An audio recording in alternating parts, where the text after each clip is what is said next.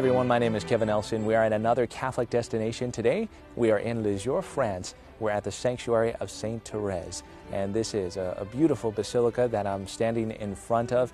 It uh, took about 10 years to build back in the early 30s all the way until it was dedicated into the 1950s. We're going to take you inside and show you the beauty, the beautiful mosaics that are inside, also show you the crypt as well, and tell you a little bit about the story of St. Therese. So please stay with us as we journey through the sanctuary of St. Therese of Lisieux, France, here on Catholic Destinations.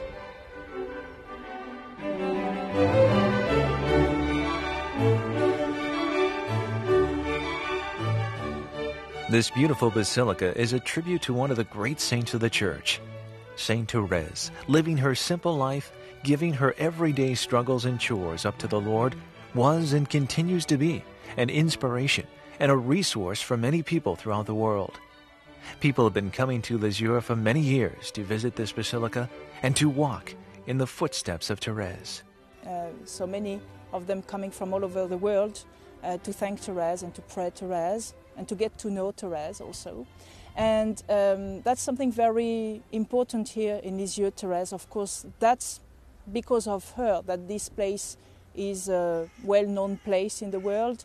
That's because of her that we have about 800,000 pilgrims coming every year. And that's really a place where we keep many souvenirs of Therese. We have the very places where she lived, the house where she grew up, uh, the church where she went to Mass, uh, the, the, parish church, which is still the parish church of the town.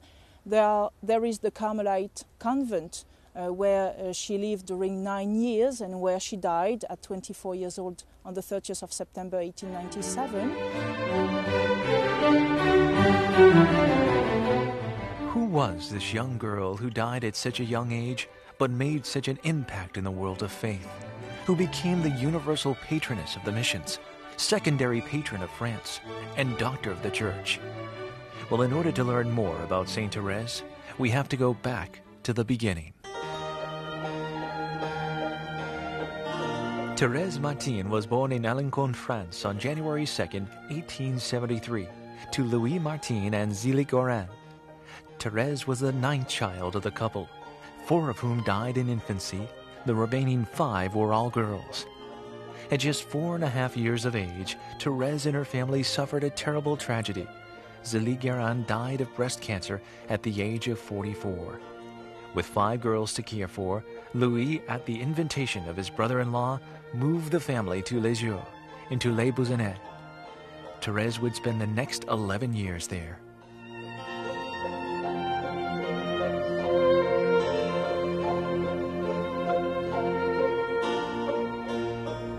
We are now here at the home of Therese. Uh, her family moved here in 1877 after the passing of her mother, and uh, she lived here for 11 years before she entered the monastery.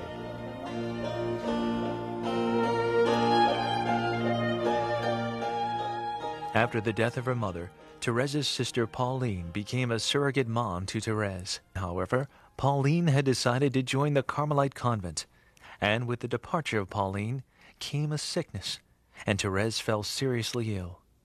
Nothing seemed to be able to cure her. Many prayers were offered by the family as well as the sisters at the Carmelite convent. Finally, on the 13th of May, 1883, a statue of the Virgin Mary, which was in one of the rooms at the house, smiled at Therese, and she was instantly cured.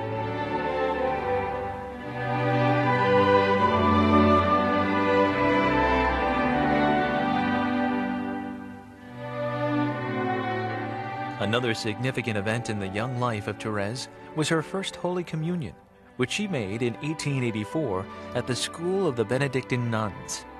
At that point, she was already thinking of becoming a Carmelite, and her other sister Marie, who she'd grown attached to since Pauline left, had decided to join the Carmelites as well.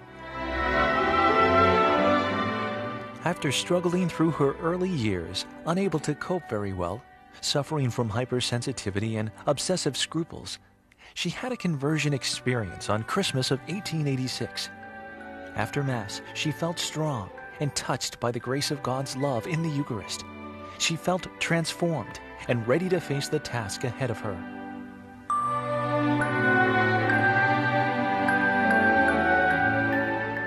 During a pilgrimage to Italy, Therese came to the awareness that her calling was not only to pray for the conversion of sinners, but to pray for priests as well.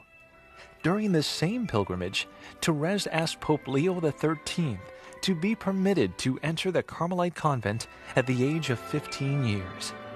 She received the answer, if God wills.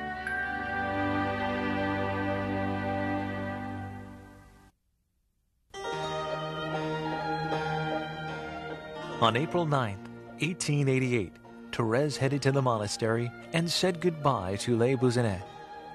At the time Therese entered the convent, there were 26 sisters in it, their average age being 47. They prayed together for six and a half hours every day, two hours of which were spent in contemplative prayer. They worked to earn a modest living. They had two hours for communal recreation, and fasting was very severe. They rose at 5:45 a.m. in the morning and went to bed at about 11 p.m.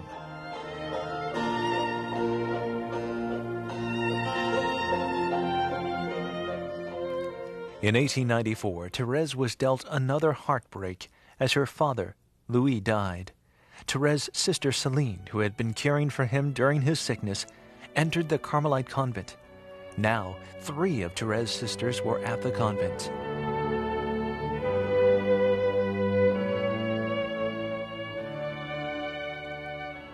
Therese's name in the convent was Saint Therese of the Child Jesus of the Holy Face, and she discovered more fully in the convent God's merciful love. She used love as her charism.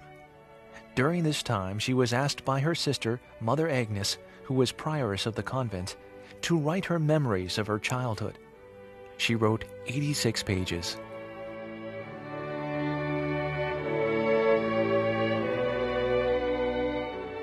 It wasn't long after her father died that she began to feel the effects of tuberculosis. While her body struggled with the disease, her soul struggled with her vocation of childlike and merciful love. She was soon asked to be the spiritual sister to two missionary priests, and she also took charge of five novices and spent her time teaching them the childlike way. Finally, on September 30th, 1897, at the age of 24, Therese died. It was the day that she would begin her prophecy that she would spend her heaven doing good on earth. One year after her death, the book based on her writings, The Story of a Soul, was published and it continues to transform lives. The following year, 1899, the Carmelite nuns received so many letters asking for the book that they had to reprint the book and not only few copies, thousands and thousands of copies, and every year after they had to reprint. And very soon it will be translated into different languages. The first two translations took place in 1901. That was in English and Polish first. And every year afterwards, there was a new translation, more than 20 translations in less than 30 years. So the fame of Therese really came from her writings, from Story of a Soul. Therese's body was buried in the town cemetery of Lisieux, but was later moved to the Carmelite convents. The town cemetery is the place where Therese, when she died, was first buried and where the first pilgrims who came to Lisieux went to pray. Until 1923, which was the year when Therese was beatified by Pius XI, and when the nuns obtained, the Carmelite nuns obtained the permission of having the tomb transferred from the cemetery to the Carmel Church. So the very first place of pilgrimage was the tomb of Therese in the cemetery, and that's the place where the first graces were obtained, where the first miracles were obtained. To this day, pilgrims still come and visit and venerate the remains of St. Therese in the chapel of the reliquary. Some of her remains have been inserted into the figure which represents her on her deathbed. Almost all of the relics are enclosed in a casket underneath the reliquary. Every year on the last Sunday in September, the relics are brought in procession through Lisieux. Above the reliquary is a statue of the Virgin Mary, which is the same statue that cured Therese by her beautiful smile on May 13, 1883, at her home in Les Buissonnets. It wasn't long after her death and the publishing of her book that the process began to have her declared a saint. Pope Pius XI beatified Therese in 1923, and then in May of 1925, he canonized her. The fame of Therese increased very, very quickly at the beginning of the 20th century. And when the process was opened in 1910, uh, the process went very quickly, and she was made a saint uh, in 1925, so less than 30 years after death. And the crowds of people were coming more and more numerous. And so there was the need of a big place to receive them, a big church to receive them. And uh, that's how the basilica was built. In 1929, in 1929 they started to build the basilica. This basilica, the project of building the basilica, was uh, deeply uh, encouraged by the Pope, Pius XI, who loved Therese so much. He is the one who canonized Therese. He is the one who proclaimed Therese a patroness for mission and missionaries. The idea for a new basilica met with some opposition at first. Many at the time thought Therese's popularity had waned. However, Bishop Lemonnier was not persuaded. In 1925, he commissioned a Parisian architect to draw up a preliminary design. But the proposed design provoked many criticisms. It was felt that the proportions were not large enough. An internationally respected architect from the north of France, Mr. Louis Marie Cordonnier, was asked to submit a design. With the Pope's desire and the backing of the local bishop, opposition decreased and Cordonnier's design was approved. Work began in 1929 the foundation stone was laid on September 30th.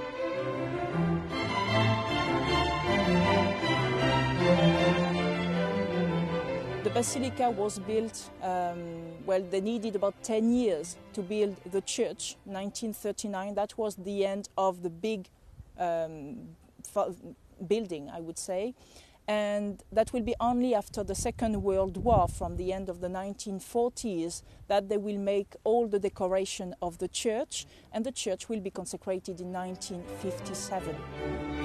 Through the generosity of Christians throughout the world, the esplanade, the Way of the Cross, the crypt, and the basilica itself were completed and paid for in less than 10 years.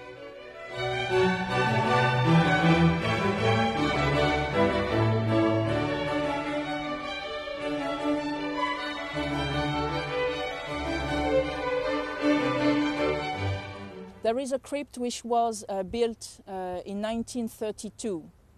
Uh, the, the, the, the, crypt, if the, the basilica is bigger and really wants to illustrate um, the spirituality of Therese, in the crypt uh, we have a, a, very much different atmosphere. The colors are very much different. The, the colors in the crypt are um, blue, uh, pink, very beautiful greens. It's beautiful, the mosaics of the crypt. And it's all uh, about nature, all the love of Therese for nature. Therese writes some very beautiful pages about nature, comparing the world to, the, the, to, to, to nature, saying that in a garden, if you have only one kind of flower, the garden is not that beautiful. You know, the, the beauty comes from the differences, from the diversity and that in his garden Jesus has many kind of flowers, roses, lilies, the great saints, but he also has daisies, the little ones. So everybody has its own place in that garden. And for Therese, she says that the book of nature really taught her about that great love of God for, for, for the world, for, for his children. So in the crypt, that's what was uh, uh, meant to illustrate that great love of Therese for nature and that that's really a book where God expresses so many things.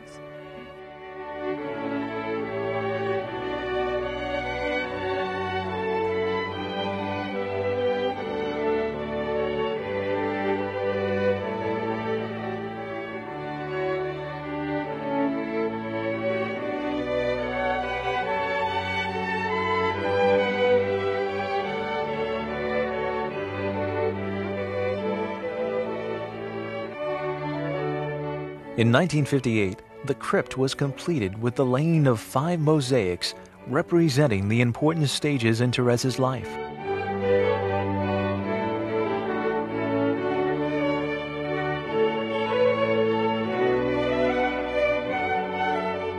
In the crypt above the altar, there is a huge statue of Therese with her hands up to heaven, and the last words Therese said before dying, which are written in French all around, Oh, I love him, my God, I love you. Oh, je l'aime, mon Dieu, je vous aime. These are her last words.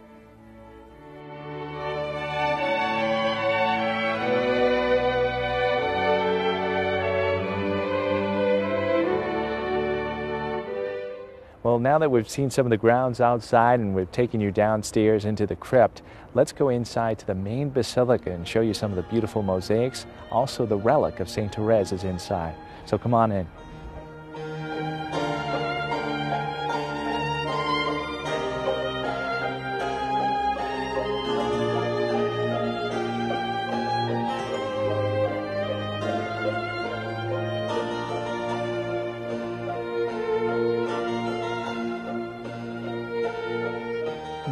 Basilica, which can seat about 3,000 pilgrims, is a stunning display of mosaics and stained glass windows.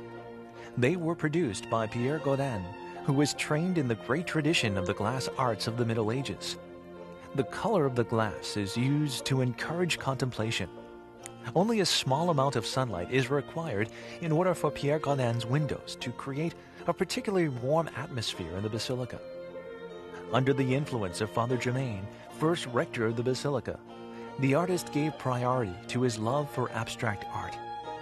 Without making the windows into pictures of glass, he conceived a, a figurative project to give pilgrims a way to see the central message of Therese through his work.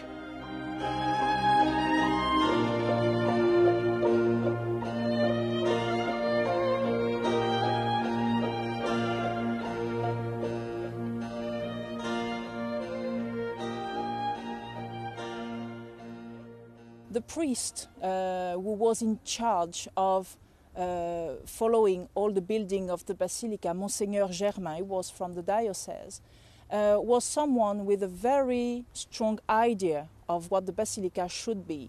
And he, as far as the decoration, as the mosaics and the stained glass windows inside are concerned, he really wanted something special here in Lisieux. And he asked to many specialists theologian, etc., to think of, um, of a decoration for the church. And each time they were giving him something, he, he, was not satisfied with that because he thought that was a kind of decoration you could find in any other church, in any other place in, in the world. So um, at last, he decided to make the decoration, the program of the decoration himself. And so he took the books of Therese Story of a Soul. It took the manuscripts of Therese, the whole things she wrote herself, and after this, he made the decoration of the church. So all the mosaics and stained glass windows of the basilica are not here to tell the story of Therese because we still have the very places where she lived to tell about her. But the message of Therese, the little way of love and confidence, uh, the spiritual childhood, the spirituality of Therese is expressed all through the mosaics and the stained glass windows. So the main mosaic, the one above the altar, expresses all the love and mercy of God for his children. And the answer of Therese to that great love of the Father is the answer of a child who abandons herself totally with confidence to the arms of her Father. And if you take the book of Therese, Story of a Soul, in the very last pages, very last page, you read the very last words she wrote uh, I go to God through confidence and love. And these two words are illustrated in the basilica through the two big stained glass windows we have in the transept, transept of the church. A blue window at north, which con- expresses confidence as the color blue tra- traditionally is the color symbolizing confidence. And above the relics of Therese in the basilica at south, we have a big red stained glass windows which expresses charity.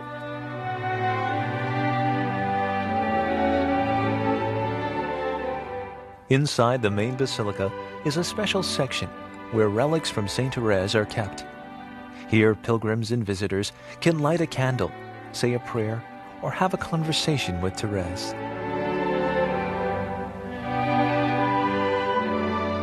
The tomb of Therese is kept in the convent, in the church of the convent. But when the basilica was, it was built, of course, in the basilica we usually keep some relics of the saint who is venerated, who the people come to pray in the church. And so, uh, after the building of the basilica, it was decided that some relics would be brought from the convent to the basilica. And they chose uh, among the relics of Therese, the bones of her right arm. That is, you won't have, you don't have the hand, but from the wrist to the shoulder, you have the bones of the right arm of Therese. And the reliquary where they are displayed was given to the basilica by Pius XI. And if the choice, the choice of these bones rather than any other, other part of her body uh, comes from the fact that she wrote the story of her life. And this is something very important because, of course, when you're a nun of 15 years old, uh, entering the convent at 15 years old, when you die in the convent at 24, nobody knows you. Therese was cloistered in the convent. So, what made Therese, Therese known after death was the printing of her book. That was her own writings, not something she had written on her own wish. That was not her own will.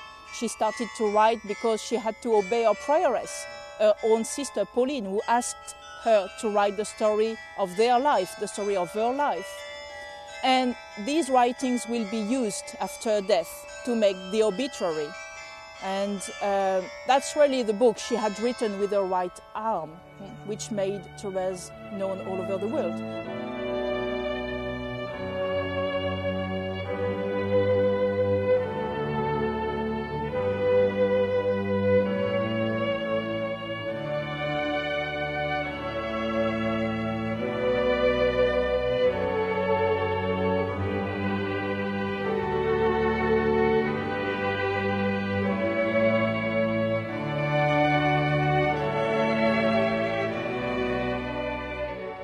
The bell tower houses 51 bells. The bell tone is sounded by six bells, the heaviest of which is the Great Bell, which displays its motto in bronze I ring out the call of the peoples to unity and love. The chimes are played on the hour and on the half hour according to the liturgical season. The chimes of the Basilica of are completely chromatic and possess a high sound quality. They rank among the most beautiful in Europe.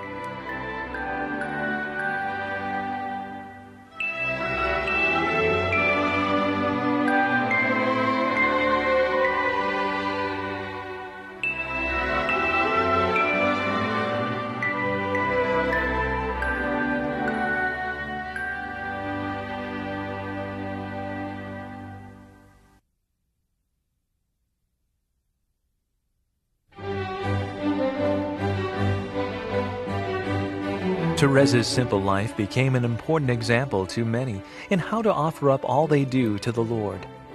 She has showered graces upon so many that many come to Lisieux to pay their respects and to say thank you. The people coming from the outside, sometimes traveling hours before coming, people coming from all over the four corners of the world, um, that's really um, make us aware of how important it is to be here. And you, you know what happens when you're in a place, sometimes you get used to it and you forget. And when you have, you, you talk with people, with pilgrims, and they say, how that's years I was expecting to come here. And then you realize what kind of place it is for, for, for them, for the people.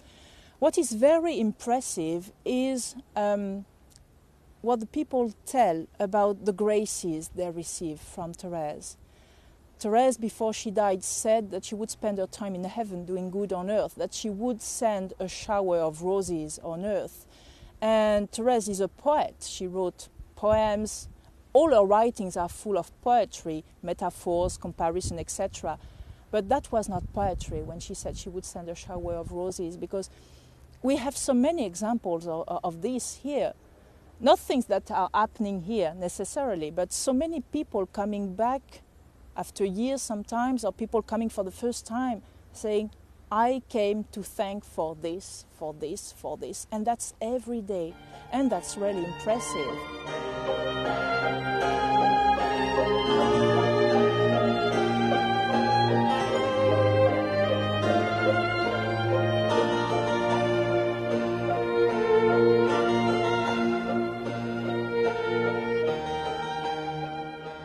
Say she's like my sister, someone. Uh, no, she's not someone above you refer to, like, no, she's someone close to you. And many, many pilgrims uh, say this, that she's here with me. And they, they talk to her like you talk to a friend, like to, you talk to, to, to a sister, to a mother sometimes. But they, they, there is that very uh, personal, very individual personal relationship uh, between Therese and the pilgrims. And what is very important is that that relationship doesn't stop with Therese. I mean, the relationship is just like, yes, uh, uh, an, an elder sister who would take you by the hands to take you to Jesus. And that's, that's something that's really here. We, we, we see that every day, every day.